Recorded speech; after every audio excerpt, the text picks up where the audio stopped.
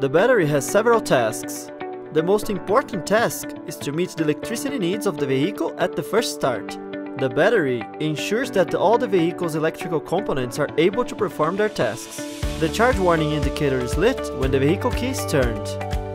It normally goes off after the engine has started. If the charge indicator remains lit while the engine is running, this can indicate faults in the vehicle's charging system or cables. If this is the case, the vehicle charging system and cables must be checked. If there's no failure in the vehicle's charging system or battery, the charging generator may have a failure. If the charging generator has a failure, the vehicle will not run by turning the key. In this case, the vehicle charging indicator will light up.